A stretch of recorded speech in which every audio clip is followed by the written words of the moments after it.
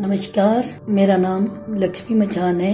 मैं शिक्षा खंड रोडू की केंद्र प्राथमिक पाठशाला पंदाली में केंद्र मुख्य शिक्षिका के पद पर कार्यरत हूँ। मेरा शिक्षा के क्षेत्र में उनतीस साल का अनुभव है। वर्तमान समय में मेरे विद्यालय में बारह छात्र शिक्षा ग्रहण कर रहे हैं। सभी छात्र ग्रामीण क्षेत्र से आते हैं।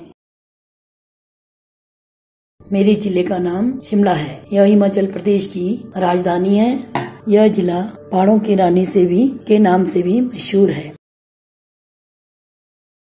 जेड आई आई ई आई इस प्रशिक्षण में, जब से मैंने इस प्रशिक्षण प्राप्त करना शुरू किया, तब से मुझे नई नई गतिविधियाँ सीखने को मिली। मैं अपने प्रशिक्षक श्री मुनीश सर का धन्यवाद करना चाहती हूँ, जिन्होंने मुझे शून्य निवेश नवाचार के बारे में बताया। वो नई नई गतिविधियों के द्वारा बच्चों को सरल तरीके से समझा सकते हैं।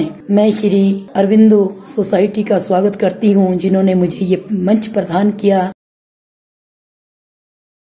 मेरे विद्यालय को आदर्श विद्यालय बनाया जाए। अंत में फिर से मुनीष सर का एवं अपने बीआरसी श्री अशोक भारद्वाज जी का, श्री अरविंदो सोसाइटी का धन्यवाद करती हूँ। नमस्कार।